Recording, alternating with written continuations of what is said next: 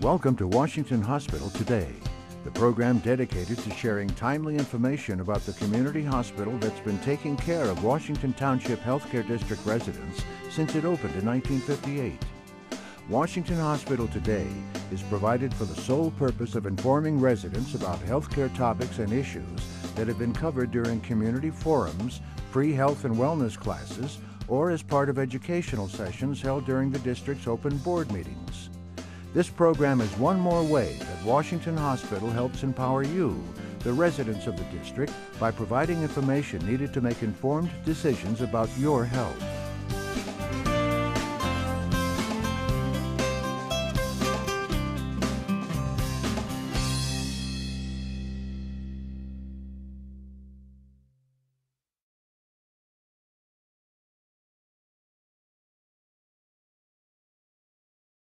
Today's presenter is Dr. Arun Srivatsa.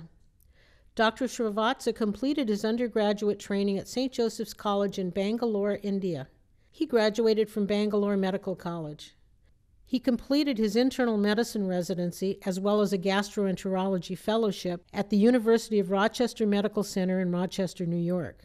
Dr. Srivatsa is board certified in internal medicine and board eligible in gastroenterology.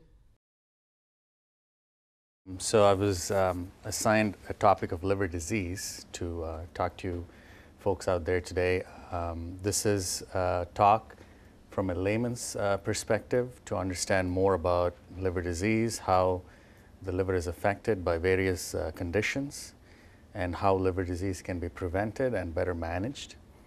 Um, so I'm going to start off here by um, providing a brief outline of today's talk.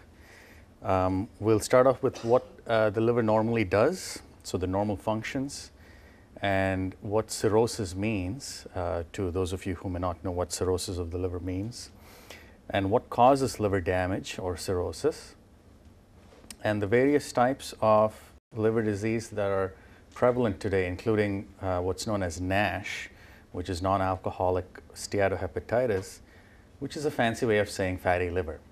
So uh, we'll talk about that and the various uh, uh, the viruses that may cause liver disease, including hepatitis A, B, and C. Um, we're going to talk about some medicines that damage the liver, alcohol, and then we'll move on to um, what symptoms you might have if you're uh, suffering from liver disease and how to manage them. So um, this is how the liver normally looks.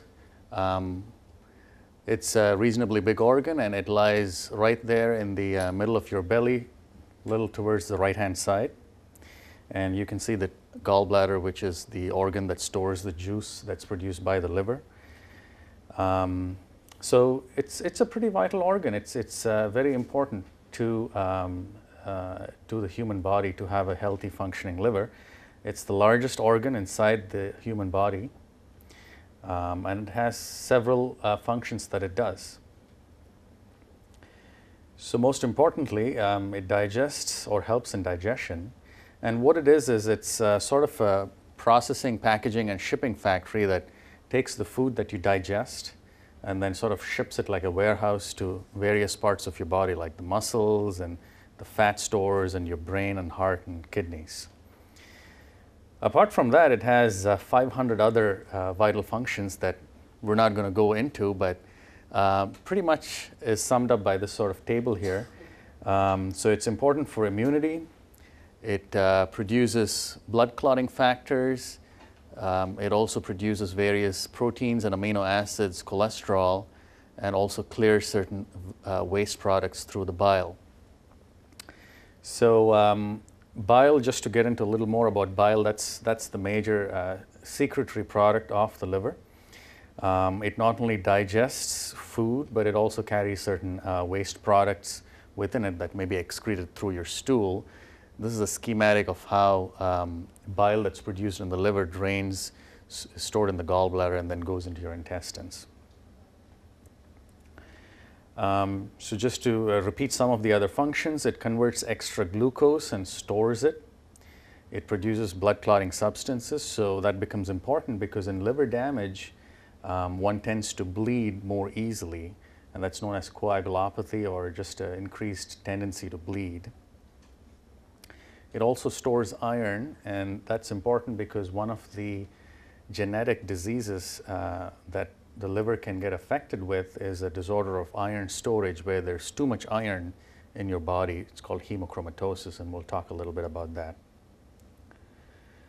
It does manufacture cholesterol, and in fact, one of the signs of end stage liver disease is your cholesterol actually is low, but that's probably not a good thing because the liver is too damaged by that time. It also produces uh, amino acids, which are sort of the building blocks for proteins. And that's why you see people with liver disease, they have very less muscle mass because they're so weak because their liver is not producing enough protein. And this really is the um, most important function. It, it removes various toxins and wastes, just like the kidneys do.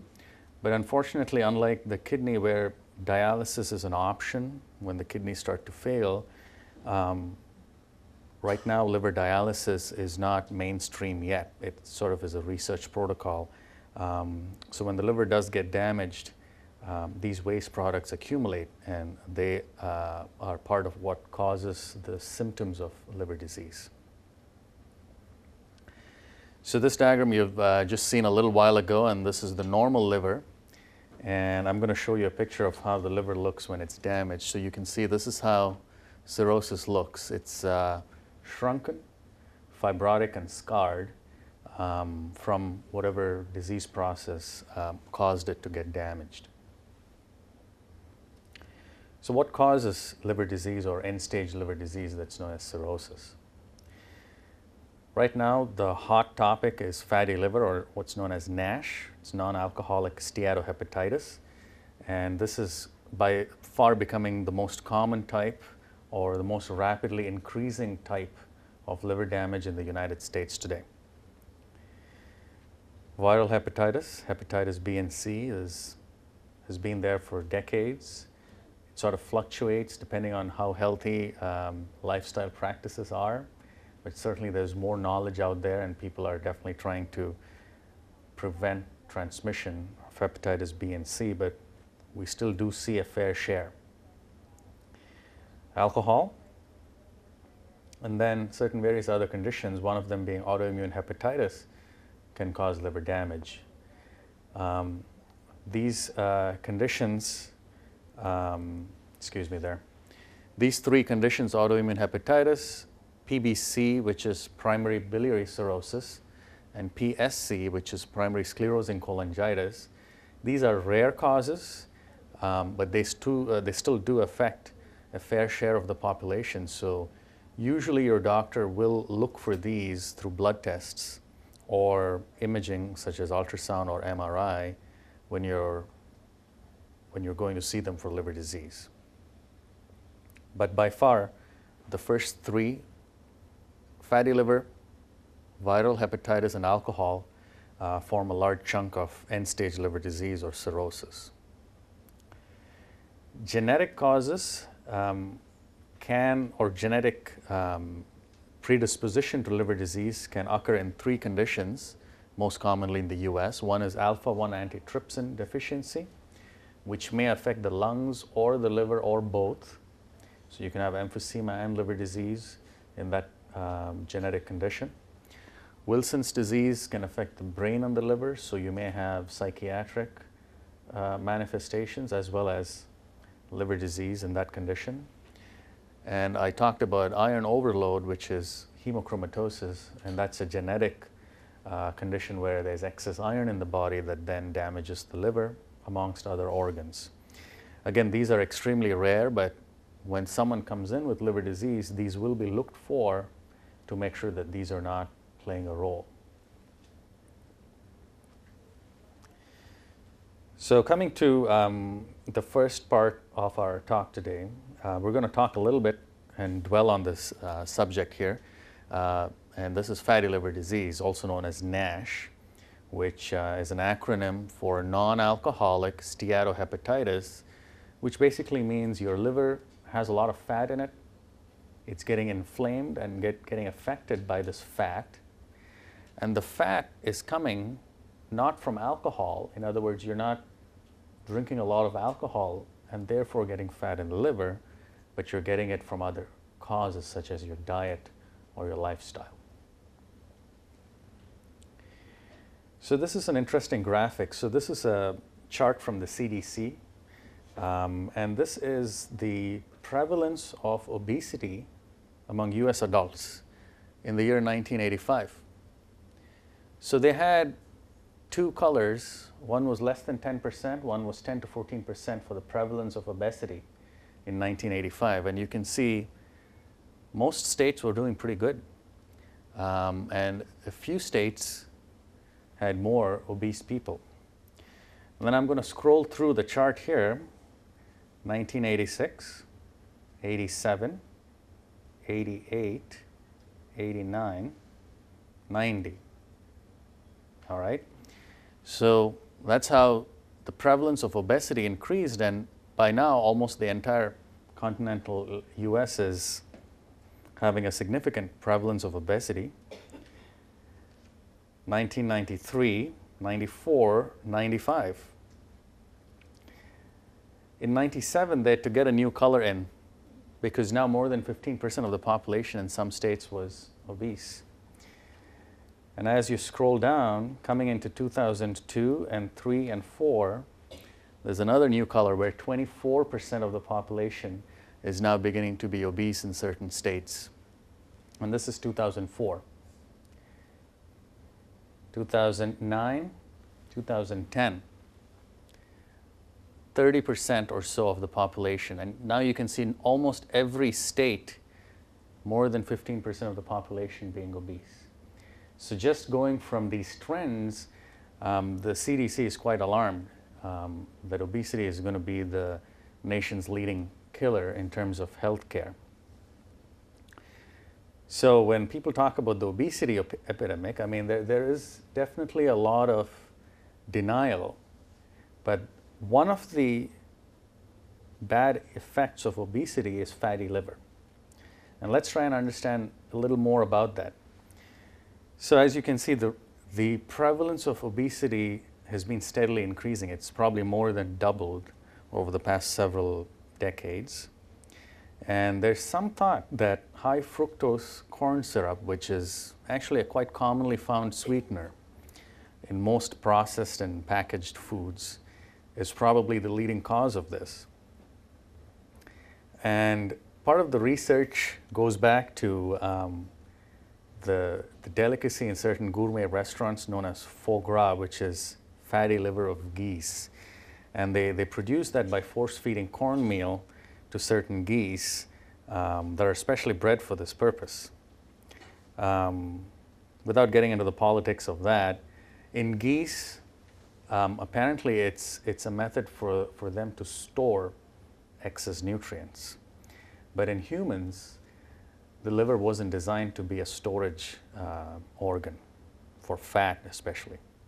So that's probably why fat causes inflammation in the liver. And it, it resembles the more common alcoholic fatty liver disease. So 30 years ago, if someone had fatty liver, most likely they were alcoholic. Today, most likely they're not. Most likely they're either overweight or obese. Um, and the fat itself builds up in the liver cell till it becomes so inflamed that it cannot do its regular job, which then starts leading to inflammation, cell death, and then eventually to liver damage and cirrhosis. So, how do we prevent fatty liver? An ideal body weight, and you can find your ideal body weight by looking at your height and cal- calculating what's known as your body mass index. Your body mass index should be between 25 to 28. There's several online calculators that help you determine your body mass index. Or when you visit your doctor, they can calculate it for you, measuring your height and weight at the same time. We spoke about high fructose corn syrup, and you can probably look at food labels to see if there's high fructose corn syrup and try and start avoiding those, especially if you're overweight or obese or you have fatty liver or liver disease of any sort. how do we treat fatty liver? Well, someone said lose weight, so that's definitely one good thing. Uh, but other than that, unfortunately, there's not much good treatment. There has been no miracle medicine that helps you lose weight, and there's no liver specific medicine that treats fatty liver. Recently, there was a study uh, which was published last year in the New England Journal that showed that vitamin E in high doses, you can purchase this over the counter, it comes in 400 units per capsule. So if you take two capsules a day, it may reduce the damage that's being caused by fatty liver. But even that, the, the benefit was modest, so we cannot expect a cure. So, um, as someone said, lose weight to achieve or go towards your ideal body mass index. If you do have diabetes, control that and avoid anything that can damage your liver further, such as alcohol and any toxic medications or, or uh, toxins. So, um, moving on to the next part, um, we're going to talk a little bit about viral hepatitis. So, what sort of viruses may affect your liver? Starting from the influenza virus to um, several common cold and other types of viruses and bacteria, a lot of um, infections may affect your liver, but the most common ones are hepatitis A, B, and C. So we're going to talk a little bit about that. Hepatitis A is usually uh, acquired by uh, taking or consuming food or water that's been contaminated um, with someone else's secretions that had hepatitis A. So usually it's pretty rare in the US, but you do see outbreaks from time to time with food products that have been contaminated in the food chain. Um, the good news is the liver usually recovers uh, without any treatment, just supportive care, and usually does not cause um, cirrhosis or long-lasting damage. And food hygiene is pretty well um, I would say, developed here in the United States as compared to other countries. But um, raw seafood such as oysters, mussels can still transmit hepatitis A, and we do see some of these outbreaks in coastal towns, even in the United States. Hepatitis B, on the other hand, um, is usually spread by bodily contact with blood or other body fluids um, used to be transmitted by blood transfusions, but that's pretty rare now because blood is screened for hepatitis B. Hepatitis C and hepatitis B are usually transmitted the same way. Hepatitis B can get better by itself, and that's known as what's, uh, what we call acute hepatitis B. But most of the time, hepatitis B lingers, and that's known as the chronic phase where you have hepatitis B and it never goes away unless you're treated. And in that situation, it may last throughout your life, and then in that situation may lead to liver failure, even liver cancer.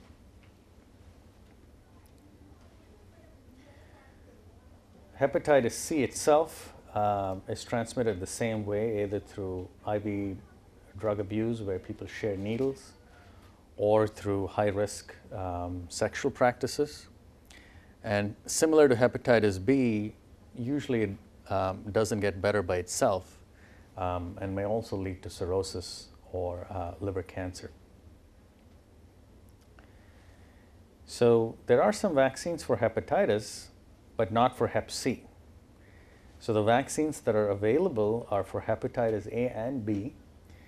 Um, and a lot of uh, people here may have already been vaccinated. All newborns in the United States now get vaccinated automatically for hepatitis A and B. So how do we treat these uh, types of hepatitis? Hepatitis B uh, requires a long-term commitment to taking pills. Um, usually you can get away with taking one or two pills a day, depending on which is appropriate for you. Uh, but it, it, does require monitoring, and we'll come to that in a second. Um, for very few people with certain genotypes in hepatitis B, they can be treated with interferon to help the liver clear the virus, although this may not be an option for everyone. The key, though, to hepatitis B is because it's a chronic condition, it requires periodic monitoring. And that includes getting your blood work checked to see how the liver is doing, and this is known as liver function tests. They measure the liver enzymes. The viral load, which is the level of the viral DNA in your blood, and certain specific antigens that the virus produces, and certain antibodies that your body produces against those antigens. So these may be checked every six to 12 months, depending on your condition and um, how often you need it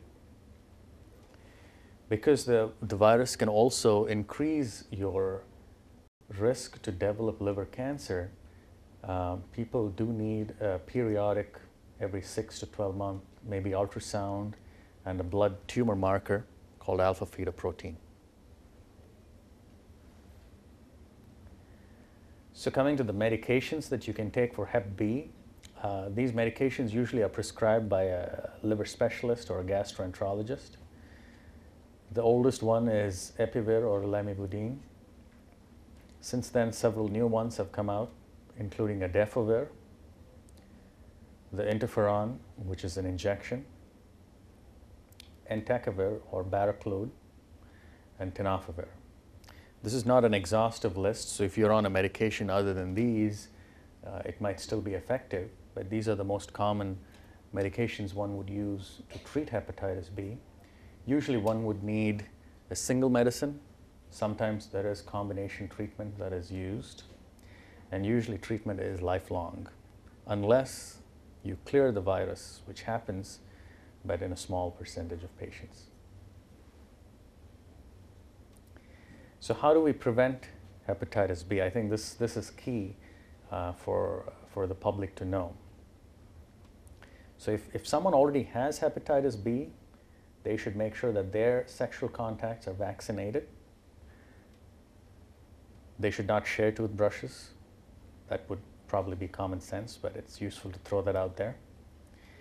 Not donate blood. If you do donate blood, you will, the blood will be discarded because the Red Cross does check for hepatitis B. And obviously stop using IV drugs. If, you, if the patient still continues to use IV drugs, they should at least stop sharing needles. Um, so those would be the main methods of preventing hepatitis B. Moving on to hepatitis C, this is a slightly different uh, method of um, approaching treatment because this uh, virus can actually be cleared by the human body with a little help in a significant proportion of patients from 30 to 60, maybe even 75%, depending on which genotype of hepatitis C you have, um, you could successfully clear this virus with treatment. Although the treatment uh, is more than just a pill, there is a pill and an injectable medication known as peginterferon. And usually treatment lasts 6 to 12 months. And in that time period, a lucky 30 to 60% will clear this virus. There are um, newer medications that may be even more effective. So if someone has hepatitis C and they've been waiting to get treatment, this may be uh, as good a time as any because these new medications, which are boceprevir and telaprevir, um, seem to have a better track record. Maybe up to 60 to 80 percent of people can get rid of this virus um, in a one year time period.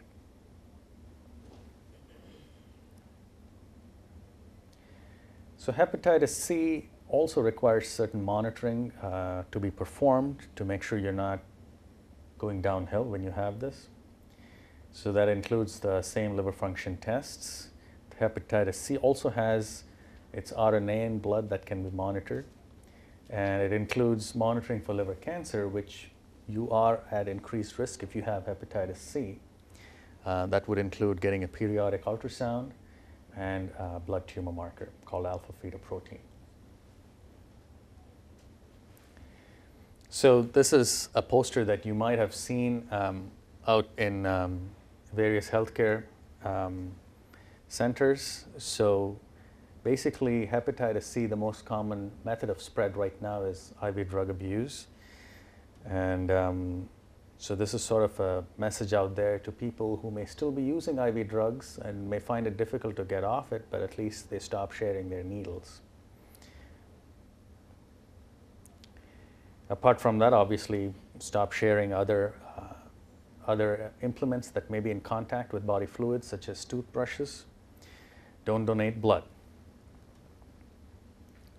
So we talked a little bit about viruses that damage the liver. The next part of the talk, we're going to talk about medications. And this may come as a surprise to some folks out there, but there are a lot of over-the-counter medications and several prescription medications that even though they're used with good intention, both by the patient and by the physician prescribing them, to treat something unrelated, they may innocuously affect your liver. So it is important to read those labels um, or those little pamphlets you get from your pharmacist when you get a medication with all those lists of side effects. Unfortunately, that, that does need to be read. Um, so we're going to talk a little bit about these medications. Some of them are over the counter, most common one being acetaminophen or the brand name being Tylenol, but it's available in several other over the counter um, preparations. Um, certain antibiotics, most notorious being Augmentin, which is commonly used for people who have a skin infection or a lung infection even certain heart medications such as amiodarone, uh, another antibiotic or antifungal agent like fluconazole, diclofenac is a pain medication, thorazine sometimes is used for nausea. These can all affect your liver. Um, younger uh, ladies who still use oral contraceptives, that's one of the side effects is uh, rarely can affect your liver middle-aged uh, folks with high cholesterol, uh, most of you who take a statin, any medicine that ends with the phrase statin, such as pravastatin, uh, atorvastatin, so these are the brand names, um, need their liver tests monitored, especially the first few weeks when you start taking that medication. And there's several other medicines. Uh, most of these will be monitored by your physician, but it's always worth knowing so you're aware of this. So if you do take Tylenol, the recommendation is you don't take more than 1,000 milligrams each time and don't take more than 4 grams per day. And the caveat to that is if you're drinking alcohol, don't take more than 2 grams per day because alcohol will increase the toxicity of Tylenol. So don't swallow that pill with a shot or a margarita. Um, and the other key point is if your doctor says, you know what, this medicine may affect your liver, let's monitor this with blood work, make sure you get that blood work done. Because frequently you're like, yep, we need to get this blood work done, but let me start taking my pill, and then a month later you've forgotten all about it. And as I said, uh, the dosing guidelines or the pamphlet of information that comes with each medicine. Um, so that needs to be read. You need to ask your pharmacist or your doctor if you have any questions about that. So we're, we're going to move on here to um, how alcohol affects your liver. So most people think one drink a day is uh, probably okay. Most people would say that, maybe, maybe not. Unfortunately, um, not everyone's idea of one drink is uh, the same. You know, so one drink a day or one glass a day, it depends how much you're actually drinking. So there are some guidelines. Um, 12 ounces of beer, an ounce and a half of hard liquor, or a five ounce glass of wine. And you notice the wine glass a half full. So When you say you're having a glass of wine, you know, we need to be careful about those measurements there. But this is, uh, this is a unit of alcohol. It's known as one alcoholic drink. High risk alcohol intake um, is more prevalent in uh, folks who are drinking more than 14 drinks per week in the case of men, or more than four drinks per occasion. That's, uh, you know, you sit down, it, it may be a Saturday night, you, know, you're watching a game or, or something, you're out at a party, but more than four drinks, you're, you're already at risk for um, liver damage. For ladies, it's uh, more than seven drinks a week or more than three, three drinks uh, per occasion. And the recommendations uh, for low, low risk drinking are not more than two drinks per day for men and not more than one drink per day for women. Reason being the, the female liver is smaller in size, and also there's some suggestion that the female hormones may um, facilitate liver damage from alcohol. And if you're over 65, no more than one drink per day either. So having said that, um, we're going to go on to um, some symptoms of liver disease. Um, unfortunately, these are pretty non-specific in the early stages. So you may have no symptoms at all, despite the fact that your liver is getting damaged, or they may be really non-specific. So um, although these can vary depending on the type of liver disease you have, most commonly it would be lack of appetite, maybe nausea and vomiting, and throwing up blood or having blood in the bowel movements. That would be a real concerning uh, symptom, as I'm sure all of you would agree. Pain over the liver area, which is usually the right hand side of your upper belly, could be underneath your rib cage. And finally, yellowing of your skin or your eyes or a really dark yellow urine, that's termed as jaundice. And once liver disease starts progressing, that's when you start seeing swelling of your lower legs that's known as edema. But again, these are pretty non-specific. You can have um, edema in heart conditions or kidney failure. And um, you can have these uh, symptoms in various other illnesses as well. So these are not specific by any means. So going on to the signs, what the physician looks for when you go in for a physical and you have liver disease, we're looking for the complications of cirrhosis. And the complications of cirrhosis, one of them is increased fluid in the belly, which we can examine for, and that's known as ascites. We're going to look for evidence of bleeding, and you usually bleed from blood vessels that get engorged in your food pipe or in other parts of your intestines, and those are known as varices. People with liver disease sometimes they seem a little off. If you have a relative or a friend, um, they may seem confused. They may seem sleepy during the day. They may perk up at night. So this is known as encephalopathy. And in more severe cases, they may be comatose, unarousable. And finally, we are going to look for liver cancer, which can occur in end-stage liver damage. So we're going to talk a little bit about these various um, symptoms and signs. So this is a distended belly with fluid inside, and you see the belly button is sort of an outie, and that's, uh, that's a sign of ascites. So how do we manage fluid in the belly? And this is, this is a condition that you see in end-stage liver disease. So we tell uh, people with this end stage uh, with this much of liver damage that they need to start restricting salt in their diet. They need to go to a two gram sodium restricted diet. So they need to actually read the labels and tally up how much sodium or salt they take during the day. And then we help the body lose fluid and salt by giving them water pills or diuretics. Uh, most commonly, we use Lasix or furosemide as well as aldactone or spironolactone.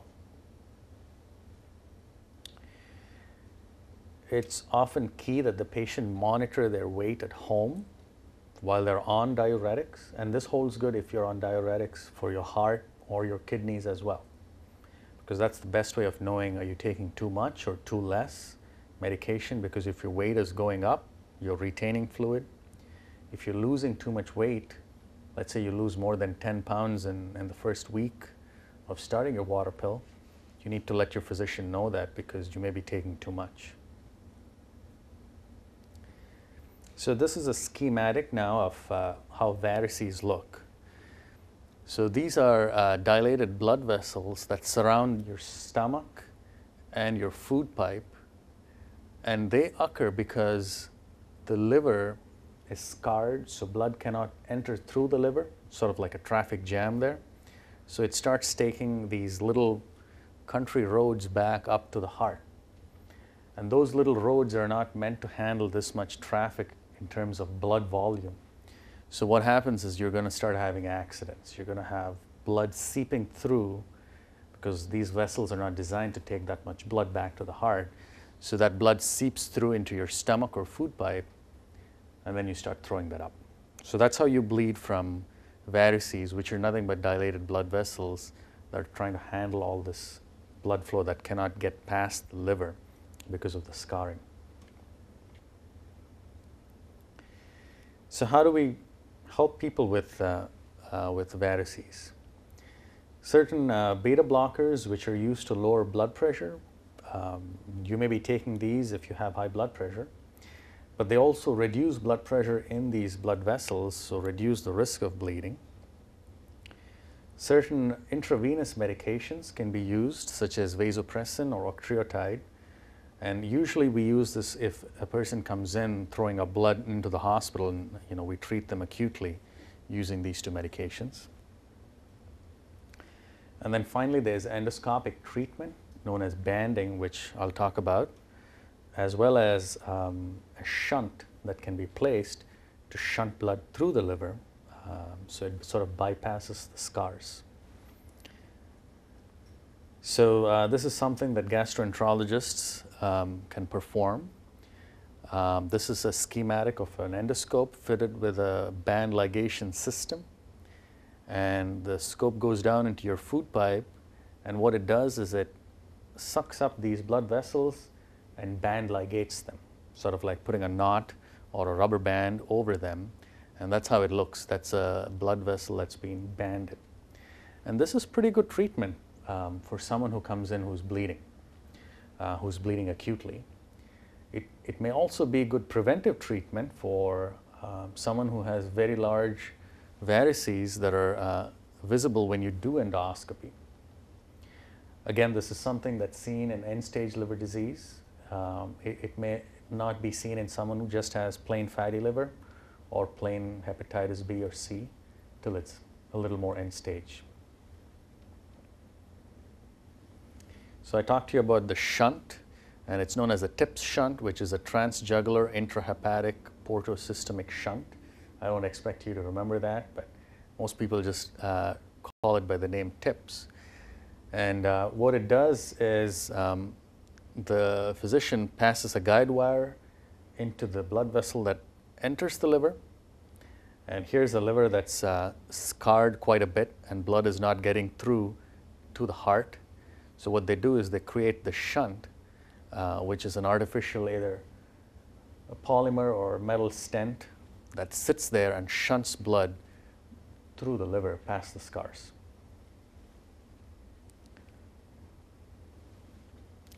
So moving on to encephalopathy, which is a state of mental confusion or uh, decreased consciousness that you may see in uh, certain folks with liver disease um, a, a, laxative by the name of lactulose helps because it binds ammonia. Ammonia is a toxic waste product that your body produces. The liver helps excrete that or helps detoxify that. And people with liver disease have increased ammonia levels in their blood.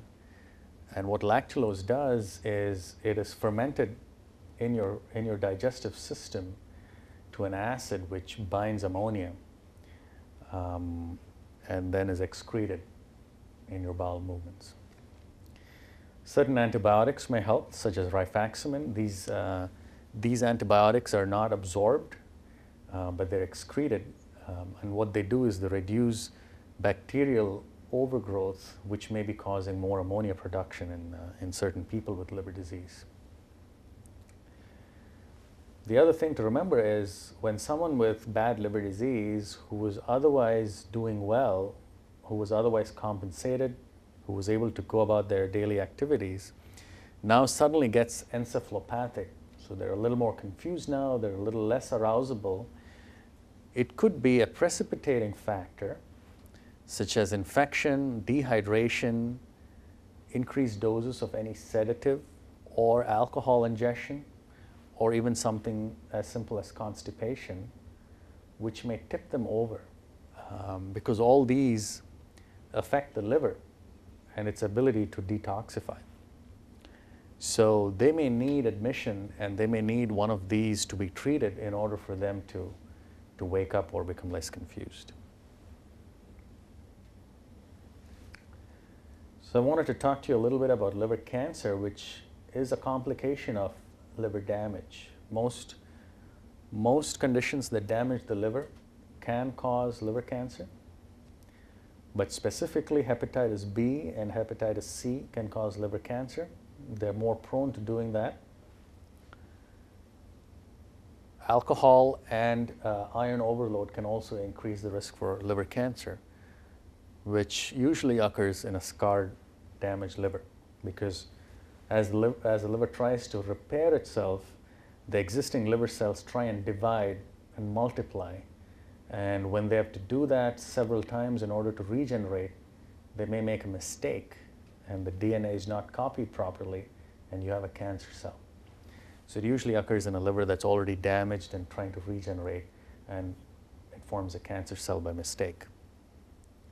So that's how a schematic looks and that's how it may look on a CAT scan. This can be monitored and diagnosed by checking tumor markers, and that's part of why monitoring hepatitis B and C includes checking for those tumor markers, as well as either doing an ultrasound, which is cheap and has less radiation as compared to a CAT scan. But sometimes a CT or MRI is needed to confirm this. There are various methods available to treat liver cancer. One of them is uh, radiofrequency ablation, where a radiofrequency probe is inserted through your skin under ultrasound guidance into the liver tumor. And then radiofrequency is used to burn the tumor. If the tumor is really large and cannot be burnt that way, one could use TACE which is an acronym for transarterial chemotherapy, where the chemotherapy is introduced into a big vessel that's feeding this tumor, which reduces side effects because you're not taking the drug through your mouth or intravenously, but you're getting it through the artery that feeds that specific tumor. The definitive treatment is usually surgical resection or liver transplantation but usually is not an option because these people are so sick from liver damage um, that usually you cannot resect it, you cannot remove it.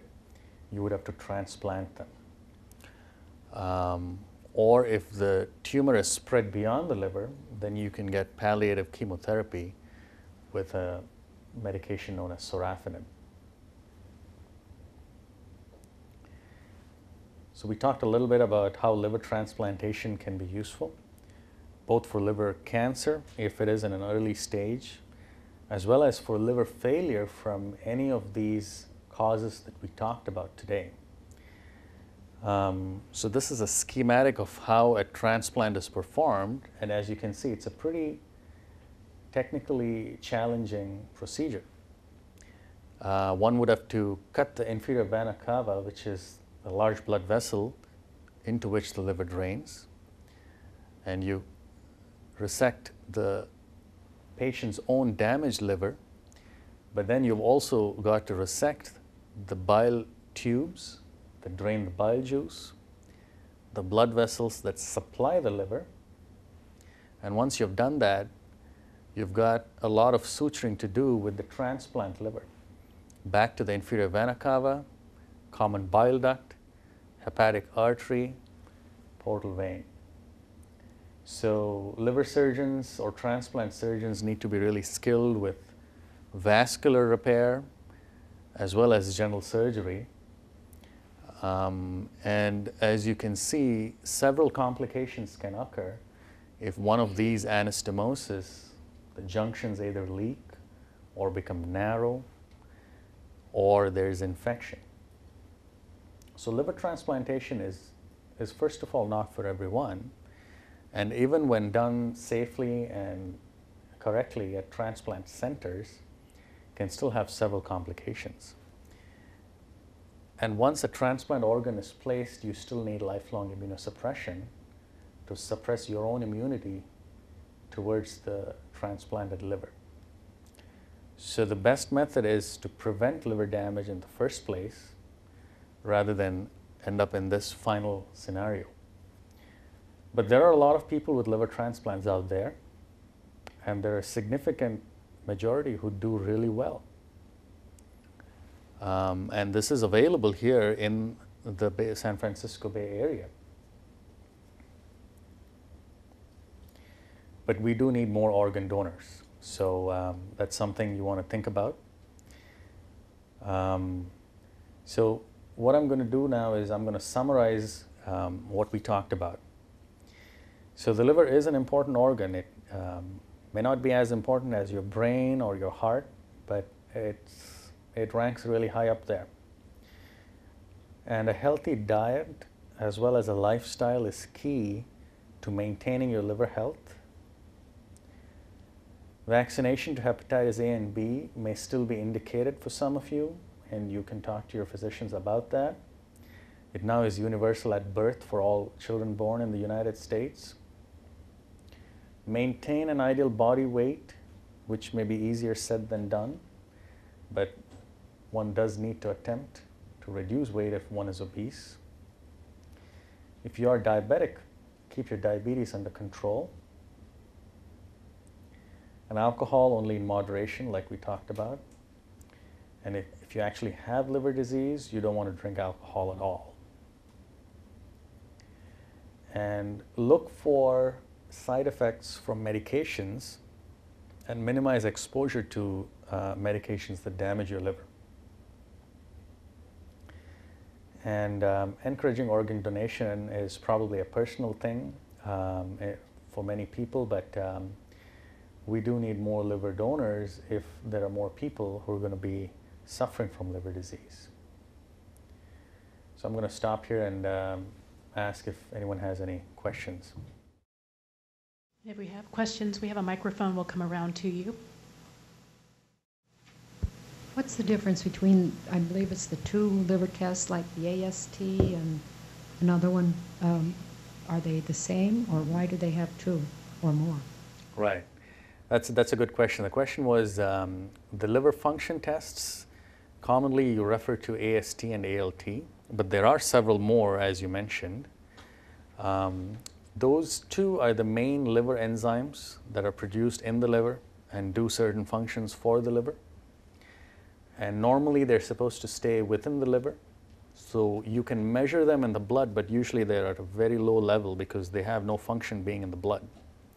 But in liver damage, they both leak into the bloodstream and you, you find them in larger quantities. And um, you can find subtle differences based on which liver disease you have with AST versus ALT. Um, and that's why we measure both. It also gives us a clue to is this more of a gallbladder problem or a liver problem, or is it getting better or worse? So there are actually several things we monitor, including albumin, bilirubin, alkaline phosphatase, your platelet count, and your INR. But um, the, the main purpose of monitoring is to decide which part of your liver or how exactly your liver is being damaged or what the most likely cause of liver damage is. I had a blood test and it showed mine was elevated four times the normal amount, and the doctor says I have fatty liver. Will milk, the- I stopped taking my simvastatin Okay. because it had raised it once before. Will it come back to normal after stopping that medication? My cholesterol was down to 168. Yeah, that's a, that's a good question. If, if uh, your simvastatin was causing the liver numbers to go up, it should come down when you stop the medication. It, it may take a while, it may take a few weeks before it comes back completely to normal. But if you do have fatty liver on an ultrasound, then, then the fatty liver may be also causing some uh, rise in your liver function tests. What about milk thistle? Milk thistle is not an FDA regulated product, but if you can find pure milk thistle and you trust whoever makes it, because the FDA doesn't regulate it, so anyone can say they're making milk thistle and package it. But uh, milk thistle has been shown in some studies that it may help liver disease. So it's probably okay as long as it's uh, as long as it doesn't have any impurities. Okay. I think we have a question up front here as well. Uh, what about keeping a healthy liver? About the uh, the detox, uh, the, all the substances which are sold in health store, about the liver detox, organic and all that. Right.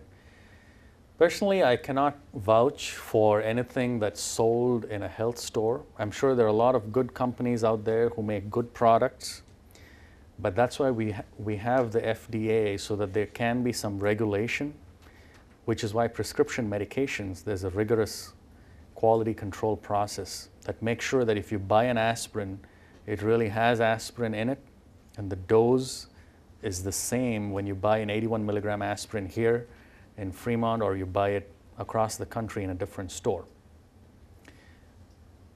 The products that you buy in a health store are not regulated, number one. So you don't really know what's in there. Number two, there is no magic bullet here.